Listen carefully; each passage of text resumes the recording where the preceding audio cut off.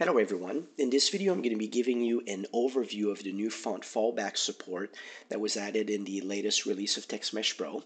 So let's take a look at how this feature works. So I'm going to select the TextMesh Pro object and actually wipe out the text. And I'm going to switch to a different font asset that only contains a few characters. So I'm switching to this Arial Numerical SDF font asset which only contains numbers. So what happens when I type ABC or characters? Well, as you can see, those are missing from the font asset. And now we get these square boxes to visually indicate that those characters are missing.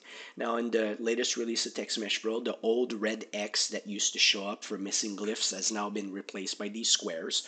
I know some of you used to hate the red X and others used to love it. Well, now it's the it's been replaced by the square. So how would we handle this situation with the font fallback system or how would it handle it? Well, let's go find our TextMesh Pro TMP settings file which is right here. And the TextMesh Pro settings file was added about three releases ago and allows you to define the default behavior of newly created objects. So for, exis- uh, for example, when you create a new text object, what default font asset will it use? So in this case, we have Arial SDF assigned, but you could assign any other font. What font fallbacks will it look through when it's looking for missing characters? This is where we define that list. Here we can set some of the default properties of the text objects when they're created, what sprite asset will it use by default, and what style sheet will be used by default. So right now we want to focus on a font fallback. So let's assign a different font as a fallback that we know has characters in it right? So I could actually go here and assign Arial SDF, uh, but just for fun to deviate from my demo, I'm going to assign the impact font asset.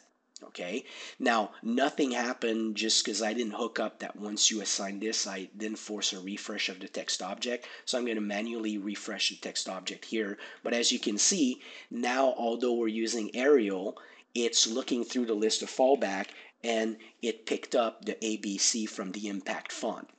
Now in this case, that's not what I wanted. It kind of looked kind of goofy. So I'm going to go back and replace this by Arial SDF just to keep it to the same font type for the example and type my ABC again. And now as you can see, we've got the ABC from Arial SDF. Now, what if I wanted to use a Greek letter like omega? Well, I can use the UTF-160389. And again, I guess this Greek letter is not contained in this first font asset. It's not in this second font asset. So let's go assign a different one. So I'm going to add one to the list and I've already created an Arial Greek SDF. And I guess the next demo I'm going to do is let's add uh, font awesome in there so we can access some icons with our text objects. So again, manually forcing a refresh. And this is something I'll, I'll fix in the next update so it does that automatically. But now we can see our Omega character shows up. And now let's go use the UTF-32 sequence, F179, and now we have an icon coming out from the Font Awesome library. So in terms of TextMesh Pro and its handling of this, this is basically using the multi-font uh, system. And as far as the layout and rich text tag usage is concerned, this behaves as if it was just a single font. So word wrapping, everything behaves the way you would expect it. In terms of the ramification of using the fallback system, just like the multi-font system, for every additional material that you use, uh, we have to create a sub-object that uses that material. So in this case, in the case of this object, we're getting four draw calls because we're using four different materials. Now, if I was to duplicate this object, uh, right now we're using the mesh renderer, these would batch uh, with each other. So although we have more than four material, well, we still have four materials, but although there's more in the scene, they would batch together, so we'd still be getting four draw calls. Now, when you're using the canvas system, the batching is different because it's based on the canvas, the scene uh, order and the hierarchy uh, and whether or not the objects overlap each other. So you're going to get different results. But for the most part, as long as your text doesn't overlap, the batching will occur as you would expect it to occur. Now, a side note about draw calls, back in the old days of the iPhone 3 and 3GS, meaning every single draw call mattered. They're still important, but as devices have gotten much faster, uh, if you were to benchmark a scene with, you know, make sure all things are equal, but if you benchmark the scene with one draw call or 20 draw calls, you wouldn't necessarily see any difference.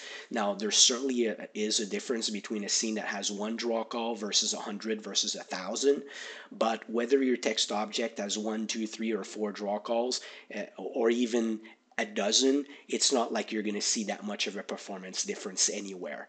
Um, devices are more impacted now by fill rate, and basically, there a lot of them are CPU bound now based on all the stuff that you're doing with AI and all these different things. So, um, so I'm saying draw calls are not as important as they used to be. They're still important. You should still be mindful of that in the sense that don't go create font assets that only contain digits and then just lowercase, just uppercase, and, and, and purposefully sort of drive their draw call count up, right? Still be efficient, but in the end, uh, this font fallback system will give you the flexibility that you need, and let's discuss that. So up until now, you were sort of limited to trying to include as many characters as you could in your font assets. And for most, you know, languages or Latin-based languages which have a limited number of characters, you know, that was fine because you can certainly fit you know, most Latin-based languages in a single font asset. But when you got to languages like Chinese, Japanese, or Korean, where their character sets are much larger, then you ran into the issue of the texture size limitation, you know, on mobile devices, where now you couldn't include all the characters that you would want. And this is where the multi-font and font fallback system uh, will become handy because it allows you to break away from that limitation because now you can uh, sort of spread your characters through as many font assets as you want to accommodate your needs.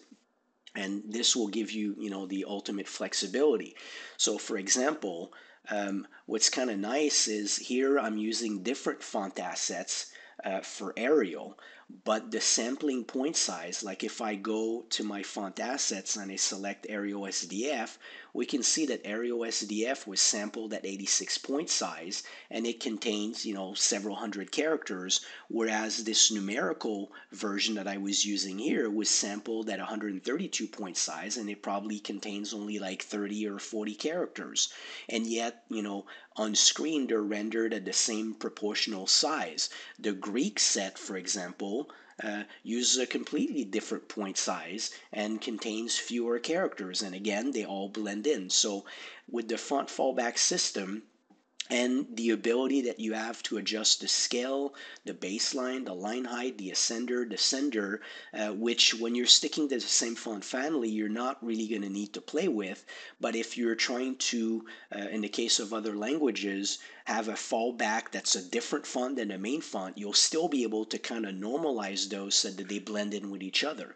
So the way that I would use this flexibility in this feature is for most Latin based languages, I would still generate a single font asset that contains all the major characters that I'm going to use. And then I might break, you know, symbols if I go back to my TMP settings file.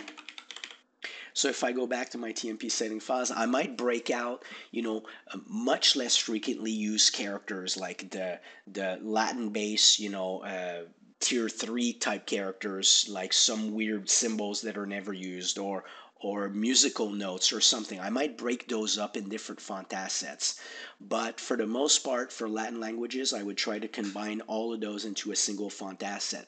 But when it comes to Chinese, for example, or some of those other languages, I would basically generate a font asset that is below the texture size limitation for mobile. And I would include, for example, all the most frequently used characters in that one. And then I would generate another font asset that contains the commonly used characters, and then so on and so forth. If you look at the Chinese language, I think uh, you cover 99.7% of all their characters, and it's about 8,000 characters. And splitting that up in three or four font assets is pretty easy especially given the fact that they don't have to have the same texture size, the same sampling size. So it gives you the most flexibility too, in the sense that you can sample the mostly com- uh, frequently used characters at a higher sampling point size than the characters that will seldomly be encountered. So again, lots of flexibility there in terms of how you generate the sampling, the quality, and how you organize all of that. So in the end, you know, this is a new feature. We're going to have to see how everybody gets to use it, and over time, we'll develop some best practices.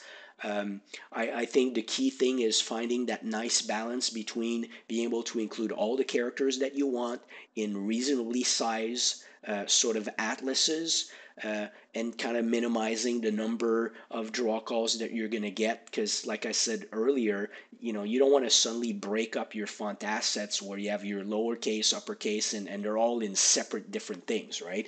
On desktop by the way whether you have 100 or 1000 draw calls on most desktop machines these days you wouldn't even see any difference anyway. But it not because you don't see a difference it's not a reason to do it. So we'll have to see how this shapes up um, this is uh, the overview of this new font fallback system. Um, I think it's going to be pretty cool to be able to use icons and mix all these different things together. And I look forward to uh, your feedback and seeing what everybody's going to do with this. Uh, thank you for watching. If you have any comments or questions, feel free to post. Thanks.